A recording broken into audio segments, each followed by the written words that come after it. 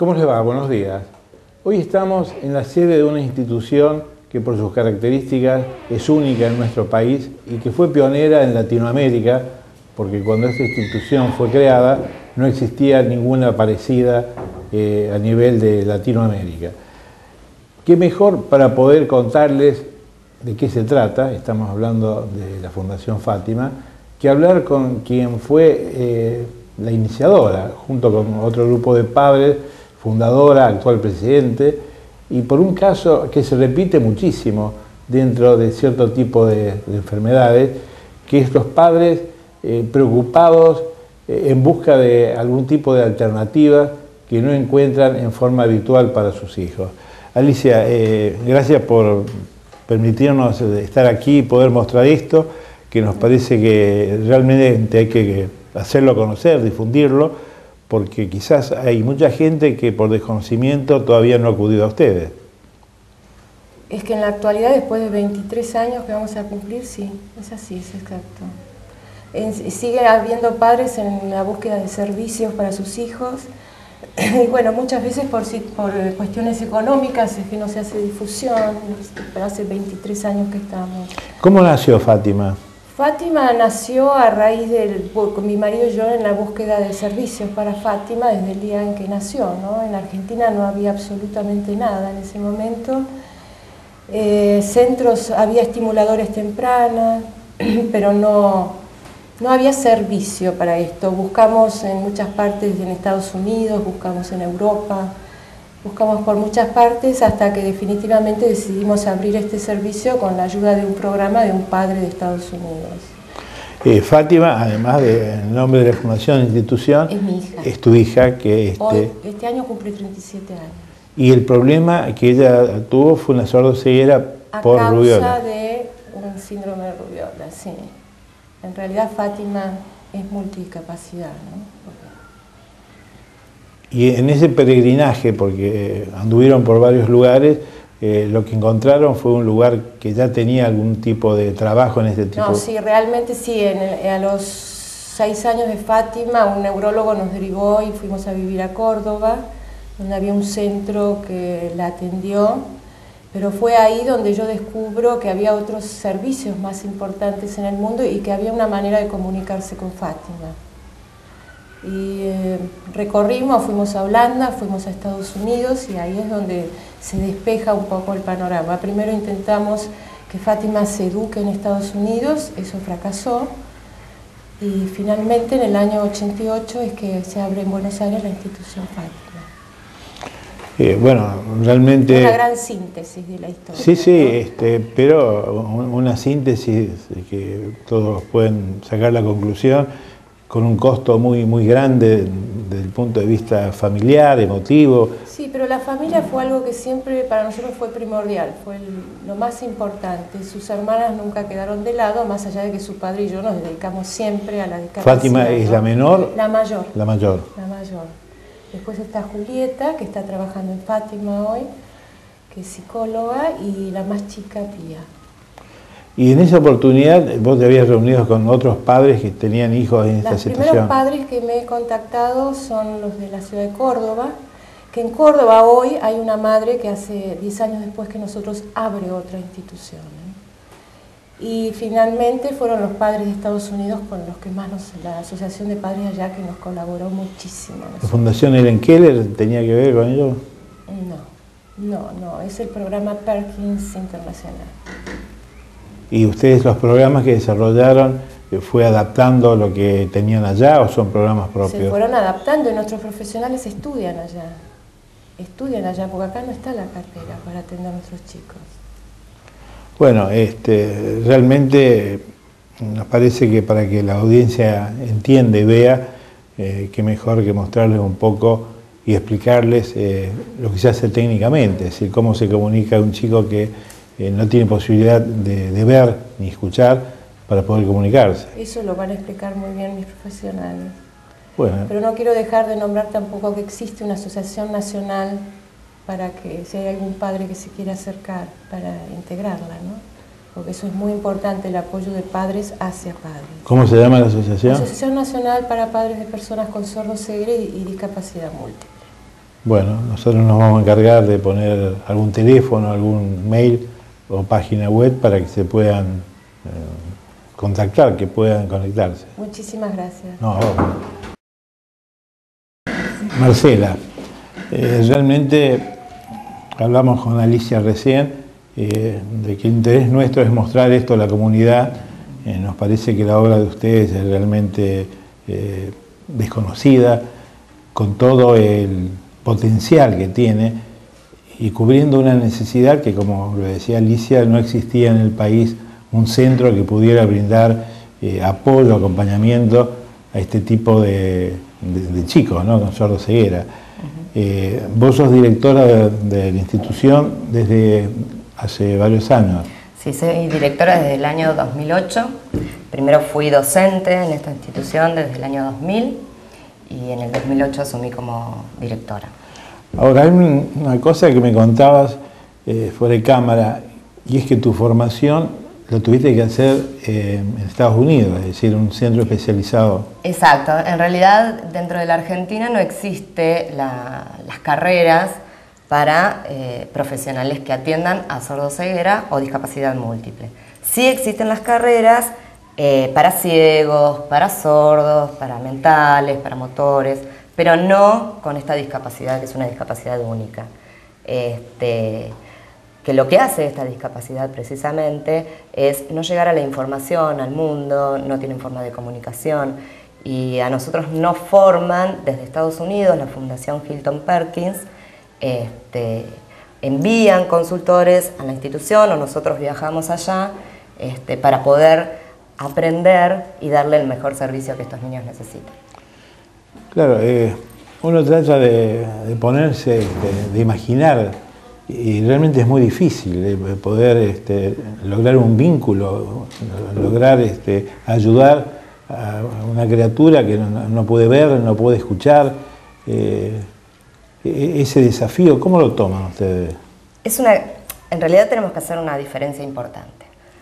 Nuestra institución trabaja le da formación a los niños que nacen con esta patología, congénitos. Hay otras que también son sordos ciegos, que la adquisición de la, discapacidad la tienen después de varios años que adquirieron los primeros conocimientos. Yo siempre cuando viene alguien a la institución y no conoce, realmente los hago poner en el cuerpo del otro, para que entiendan de qué se trata este mundo. Nosotros que nacemos eh, eh, copiamos, podemos relacionarnos con nuestra mamá, el, bebé cuando nace tiene un llanto diferente para cuando tiene hambre o, está sucio y esa mamá interpreta ese llanto. Ahora, cuando hay un bebé con estas características, donde el llanto no es algo perceptible, sino que es un mismo llanto. Quizás la madre no sabe si tiene hambre, si puede comer. Esa mirada que la madre puede obtener con un hijo eh, entre paréntesis, eh, normal, quizás ahí empieza el primer quiebre. Nuestro gran sueño es poder armar un centro de estimulación temprana para que estos niños puedan ingresar a la institución desde bebés, entonces la adquisición de habilidades o de comunicación va a ser más tempranamente. Eh, yo en esta institución descubrí que estos chicos sí pueden. Por supuesto con una metodología específica que abarque las necesidades que ellos tienen. Y una dedicación eh, realmente muy, muy grande. La relación eh, docente, profesor, alumno eh, es cercana al uno a uno. Es cercana al uno a uno. En realidad, en mi institución están agrupados en grupitos de cuatro, con un docente y un auxiliar. Quizás dirán, ¿por qué en grupos de cuatro? Precisamente para comenzar esta sociabilización con su, compañero, que, sepan que hay un otro, que sepan que hay un olor diferente, este, que puedan relacionarse a través de un juego. Nuestro trabajo no es pura y exclusivamente dentro de la institución. El objetivo de nuestro trabajo es que los chicos sean lo más independientemente posible, que estos chicos logren estar en la comunidad. Y te digo desde una comunidad cercana, que los padres puedan llevar a su hijo a un cumpleaños y que disfruten con personas. ¿Qué plantel de, profesionales eh, trabaja aquí?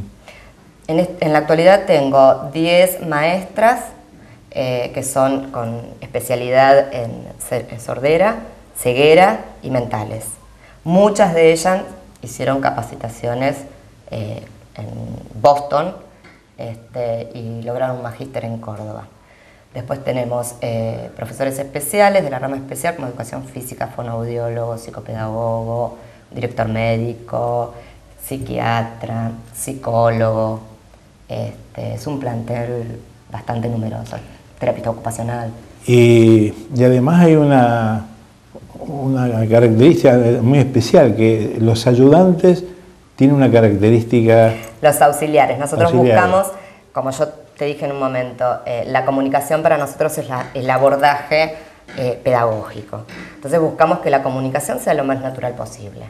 Tenemos auxiliares que son sordos para aquellos niños que sabemos o, podemos intuir que la comunicación va a llegar a la lengua de señas y auxiliares que son oyentes, porque tenemos casos de chicos que pueden escuchar, quizás lo que escuchan no lo pueden procesar e interpretar. Este, y el auxiliar oyente favorece en este lenguaje de comunicación natural. Y esta es una ventana que ya lleva muchos años abierta eh, y por ahí no tiene la difusión, no sé si el apoyo que nos parece tendría que tener, por eso queríamos esta entrevista. Bueno, muchísimas gracias. Nora, eh, bueno, por fin pudimos venir. Eh, realmente... Siempre esperando. Esto lo habíamos pensado, eh, no sé si hace dos años, pero por ahí. Y bueno, por una razón u otra, eh, no lo pudimos concretar antes, pero estamos y nos parece fundamental poder decodificar para nuestros televidentes cuál es el objetivo de Fátima. ya hablamos con la fundadora, con la directora, pero bueno, queremos que, vos nos cuentes eh, qué es lo que se hace acá. Eh, la institución Fátima eh, está abierta a todos los chicos que tienen un multiimpedimento de base sensorial. ¿Qué quiere decir eso? Básicamente, un niño que nace con una alteración en sus sentidos, la vista, el oído o ambos. ¿Por qué multiimpedimento? Cuando se daña uno de los sentidos, la información es procesada de manera distorsionada y ese distorsionamiento produce alteraciones, siempre en la comunicación, en la orientación y la movilidad de la persona en el espacio. Estos niños llegan acá y nosotros trabajamos para mejorar o establecer, aunque sea un sistema de comunicación. No se trata de colocarle un audífono y que oiga mejor. Se trata de acercarle el mundo sonoro y visual de la, más, de la manera más eficiente posible para cada niño en particular. Vos hablabas del lenguaje de señas, pero si hablamos de, sordo ceguera, eh, no es el lenguaje de señas que uno puede conocer que está hablando, no sé, un político y al lado hay alguien que está el intérprete. interpretando. Estamos hablando de una cosa, eh, bueno, que los chicos que tienen visión pueden manejar eso. Correcto. Pero los que no tienen visión. Eh, la lengua de señas tiene los mismos estamentos que el lenguaje oral. Tenemos que partir de eso. Tiene morfología, tiene sintaxis, tiene eh, gramática y tiene un mundo fonológico con configuraciones, con gestos, distancias, exactamente igual que el lenguaje oral. Nosotros tenemos inflexiones vocálicas, si hablamos más fuerte para el que no oye bien, o acompañamos nuestro mensaje oral con gestos. La lengua de señas también se debe de acomodar a las capacidades de cada individuo. Cuando hay un sordo ciego total, obviamente no puedo trabajar una lengua de señas en un campo visual porque no existe. Entonces se trabaja la lengua de señas respetando la configuración de la lengua de señas, pero mano sobre mano. Ese es un sistema. A su vez... es el contacto. Es el contacto de una mano sobre otra mano, pero señando con señas del lenguaje de lengua de señas argentina, que es el equivalente al español argentino que hablamos nosotros. Cuando la sordoceguera es total se trabaja mano sobre mano. Pero hay algo que tenemos que dejar bien en claro que es la frutilla del postre. De todos los niños sordociegos congénitos, el 90% tiene restos, o visuales o auditivos o ambos. El 90%. Solo el 10% es sordociego total. En ese universo, el 90%, uno lo que hace es buscar cuál es el mejor sentido que él tiene y hacer un sistema de comunicación aumentativo y alternativo. Entonces siempre estamos con lengua de señas en ese restito visual que queda, a la mejor distancia, con el mejor contraste, con un sistema oral que acompaña la lengua de señas si hay un resto auditivo, para que todos los engramas corticales que entran por los sentidos vayan armando caminos en esos centros de discriminación, ya sea auditiva, visual o ambos, los centros asociativos.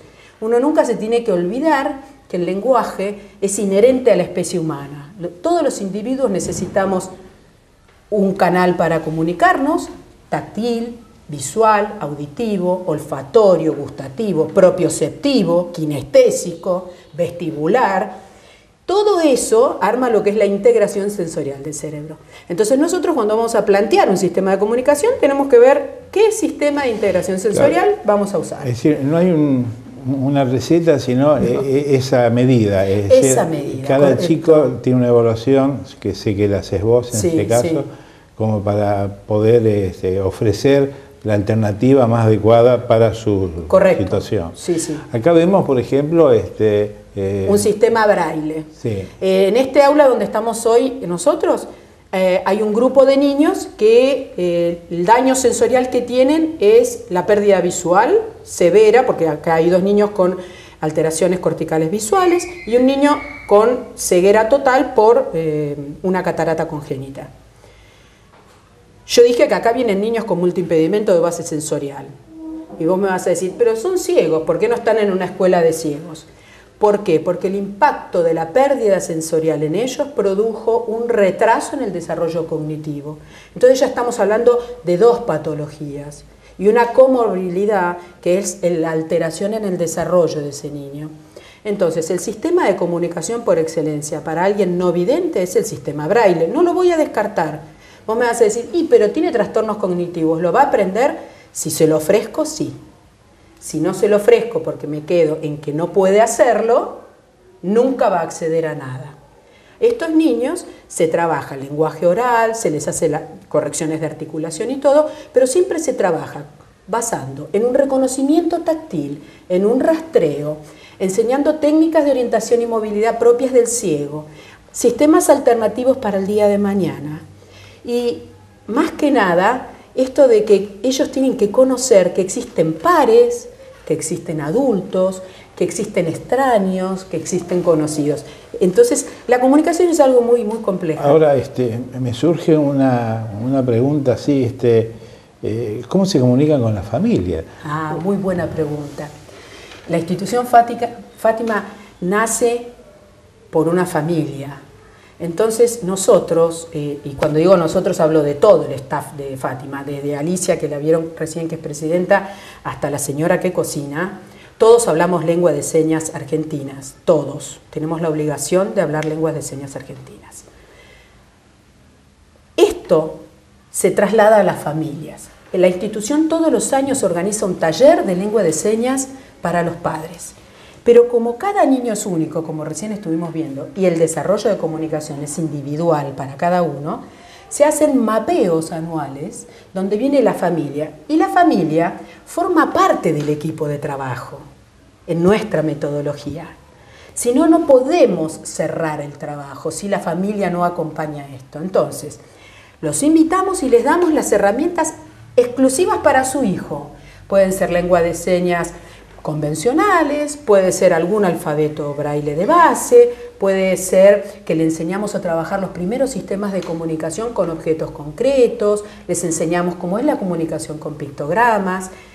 ¿Para qué? Para que en la casa se continúe lo que se hace aquí. Claro, porque el chico, si no, mientras está acá, eh, bueno, se le abrió una ventana a la vida, este, se puede comunicar con los profesores, con sus compañeros, pero, sale acá y, y queda en un abismo yo siempre digo, uno para entender a estos niños y poder elegir el canal en donde meterse dentro de ellos, uno tiene que saber que ellos, si no logran un sistema de comunicación, viven en un mundo silente y oscuro, que se termina en la punta de las manos, que es nuestro espacio proximal, el famoso espacio de Vygotsky.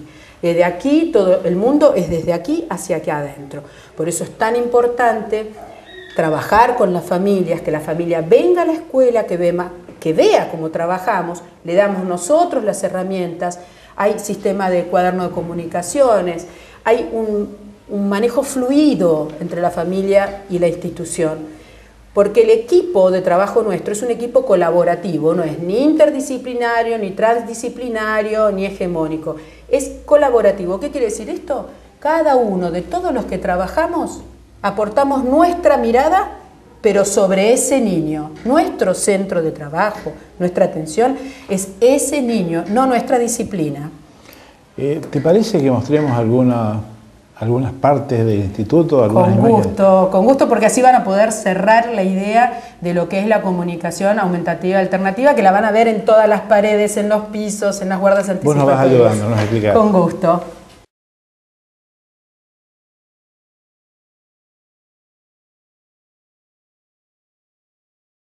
La comunicación está dada en base de la anticipación.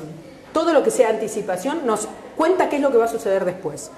A nivel edilicio, toda la escuela tiene bandas a la altura de la mano para que se haga el rastreo para los niños no videntes. Cada lugar tiene un relieve específico que determina cuál es el lugar al que se está entrando. Lo mismo en el piso, para los niños que no usan el rastreo manual y sí usan el rastreo de pie, la entrada a cada aula tiene una textura en el piso diferente. Cada aula tiene el identificador idéntico al de la guarda. Dice quiénes están y se trata de que estén en todos los sistemas de comunicación posible. Escrito, braille, con alto contraste, fotografías y algo bien básico y concreto. Todos los chicos que tienen trastornos visuales y auditivos tienen alteraciones en la secuencia temporal. ¿Por qué? Porque no ven. La secuencia temporal está dada por la iluminación en la noche y el día. Ellos no ven. Entonces, en todos los sistemas tenemos toda la semana las actividades, de la mañana y de la tarde. Van a decir, ¿por qué repiten con cosas raras? Estas son texturas táctiles, partes de un objeto que representan en lengua de señas educación física, en braille, con un pictograma para los que ya están utilizando pictogramas, nuevamente lengua de señas, escritura convencional, y es el día jueves, con la seña del día jueves. Estos son todas las personas y niños que forman parte de nuestra institución. Por la mañana los chicos vienen, los que tienen resto visual identifican a sus compañeros, los buscan y se hace el saludo, porque el saludo es el primer trabajo de actividad social que se establece. Jorge, una de las áreas eh, de muchísima importancia es el trabajo corporal, la integración a través del movimiento y del desarrollo motor. Nosotros tenemos un aula específica que es la sala de usos múltiples, igual que todas las otras salas, identificación en todos los sistemas posibles y con texturas que marcan la identificación de este lugar. Cada adulto, de acuerdo a las capacidades que tiene, se trata de hacer el entrenamiento pertinente. Tenemos el profesor de educación física que trabaja todas las destrezas, iguales que las que tiene una joven normal, pero adaptadas al sistema de comunicación y a las habilidades que el chico posee. Guardo, busco la caja, guardo la pelota, vamos a buscar otra, dale B. Ahora están haciendo recorridos y esto va de acuerdo a la capacidad de habilidades que tiene cada uno de ellos y a la destreza que se puede. Les voy a presentar a Fátima. Gracias a ella existe esta institución y gracias a ella pasaron más de 350 alumnos a lo largo de de 23 eh, años que tiene la institución. Eh, ella no llegó a tiempo, pero le dio el tiempo a todos los que no tuvieron antes. Así que es un gusto poder presentárselas. Para los más chiquititos y una pileta de natación en donde hacemos la actividad de natación en verano. Durante el invierno van al campo de deportes 1 de, de la Municipalidad de San Isidro y nadan igual que nosotros. Este es el taller de adultos, es la última parte que pudimos construir en la institución Fátima, porque los niños sordosivos crecieron y necesitaban un lugar específico. Acá ellos desarrollan actividades de la vida diaria, trabajan en talleres, actividades en la comunidad. Ahora están trabajando en pintura, lavado de las cosas de todos los días, porque esto lo tienen que generalizar en su vida cotidiana, en su casa y en sus salidas. Es lo que nosotros esperamos de ellos y para lo que trabajamos.